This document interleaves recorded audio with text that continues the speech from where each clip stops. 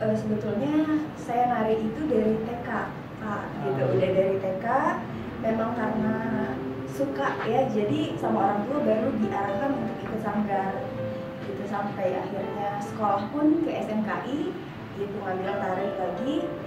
Kuliah pun ketarik lagi sebelumnya basic itu memang eh, di entertain tapi fokusnya di tari gitu. Eh, setelah apa ya ada cerita panjang terus berpikir mau sampai kapan nari terus gitu kan Hmm. ada satu hal yang bikin aku tersentuh banget nih aduh jadi curhat Apa apa? Udah direkod kan mas? Apa? Udah, direkod udah. Rekod aja. Terus? gitu jadi eh, aku berpikir saat papaku nggak ada gitu Hmm. kan kalau perempuan yang belum nikah tuh semua ditanggung ayahnya Eh, terus aku mikir kayaknya aku harus berubah gitu nggak bisa gini terus.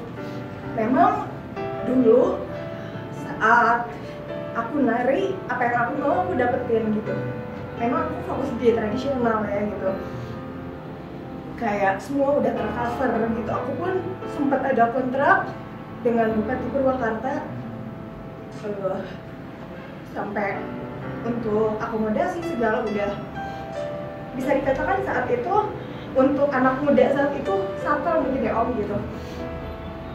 Cuman aku berpikir saat papa nggak ada aku harus berubah. Terlebih lagi aku anak pertama jadi ngerasa punya tanggung jawab aja sama bunda saya sama adik saya gitu. Sampai akhirnya dulu kan pernah eh, saya syuting juga di film terus sampai akhirnya apa? dulu itu namanya Ratu Jaipong Demi Jaipong terus juga ada short movie eh, Walau Itu Perlu ada beberapa lagi gitu Eh, setelah saya memutuskan Bismillah nih saya mau berhijab gitu. Malah ada callingan karena ada rekanan kenal Eh, saya ketemu udah ketemu dengan talent yang lain karena lihat CV saya sebelumnya belum berhijab gitu. Saat ketemu beliau kaget gitu. Eh, tapi nanti saat syuting bisa kan dibuka? Dia bilang gitu. Oh aduh saya bingung gitu ya satu sisi nih mimpi saya di depan mata karena nanti kan untuk layar lebar gitu. Tapi eh, mungkin Allah muji ya jadi saya berpikir saya harus pilih eh, gimana nih gitu. Sampai akhirnya dia ngomong gimana bisa? Kan saya di situ yakin Allah pasti ngasih jalan yang lain gitu. Oh ya Allah Bismillah saya pilih hijab saya gitu.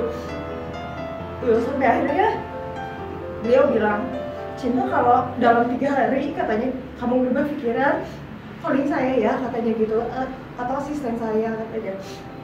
Sampai eh, iya makasih gitu. Pas masuk mobil oh aku bener-bener nangis gitu kan. Tapi dari situ malah eh, ketemu dengan bisnis gitu malah jadi keluar dari dunia tari gitu. Eh, pas kemarin dapat info ini aku jadi kayak seneng banget gitu. Semoga ini jadi apa ya? Eh, jalan aku terus juga jalan aku untuk dakwah ke teman-teman aku yang notabene mereka masih nari gitu